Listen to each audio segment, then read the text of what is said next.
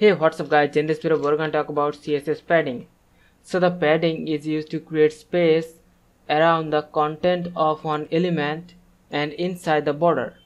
Like an example we have the content of the element now outside of the content we have the padding and the padding is located inside the border of the element. So we can use the padding to create space between the border and the content of the element. So now we're going to see how we can create padding around the content of the element. So first of all I'm going to select the h1 element and then I'm going to create the border 1 pixel solid red. Now we can use the individual padding property and we can set padding for all the sides of the element. Like in example we can write padding top and we can set the padding to the top of the element so padding can be 20 pixel so you can see there is space between the border and the content of the element. Similarly also we can write padding right and we can set padding for the right side of the element. And also we can have padding bottom and also we can have padding left.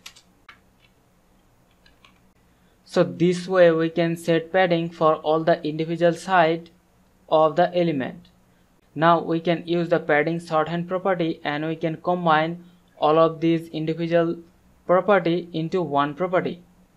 So we can use the padding shorthand property and we can set padding around the four sides of the element.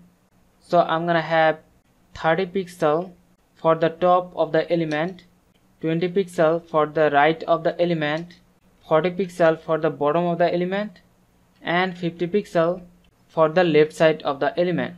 So this way we can specify four parameters to set the padding for the top of the element, right side of the element, bottom of the element and the left side of the element. And also we can specify just two parameter. Now the first parameter will be applied to the top of the element and the bottom of the element and the second parameter will be applied to the right of the element and the left side of the element and whenever we specify just one parameter then this one parameter will be applied to the four sides of the element. So this is the way we can add padding to one element to create space between the border and the content of the element. So hope you understand the concept. We'll see you in the next one. Thank you.